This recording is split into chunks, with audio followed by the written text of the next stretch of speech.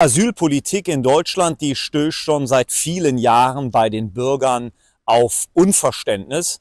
Doch jetzt scheint der Staat Bayern wild entschlossen zu sein, dem Ganzen noch die Krone aufzusetzen. Ja, die Perversion, so scheint es, komplett zu machen. Im beschaulichen Seehaupt am Starnberger See bei München, so liest man, ist geplant ein Seegrundstück zu nutzen im Wert von circa 6 Millionen Euro, um dort ein Luxusasylheim für Geflüchtete zu bauen.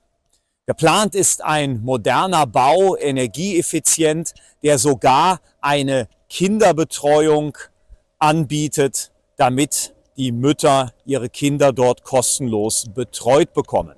Natürlich ist der Aufruhr in der Gemeinde groß. Unverständnis geht durch alle politischen Reihen. Aber der eigentliche Skandal, der sich hinter dieser Idee verbirgt, noch liegt kein Bauantrag vor, gegen den man juristisch vorgehen könnte. Aber das Unverständnis, die Absurdität, die liegt darin, dass es die CSU ist. Eine Landesregierung der CSU, die offenkundig kein Problem damit hat, dass hier erneut der Bürgerwille mit Füßen getreten wird.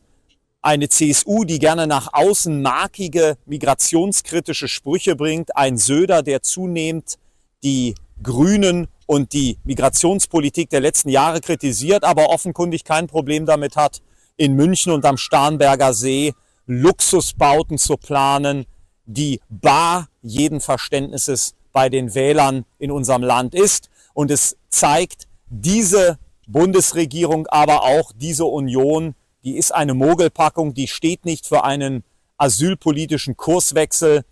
Die zeigen im kommunalpolitischen Bereich wie auch im landes- und bundespolitischen Bereich, dass sie diese Asylpolitik mittragen. Und deswegen ist ein Wechsel der Asylpolitik nur mit der Wahl anderer Parteien möglich.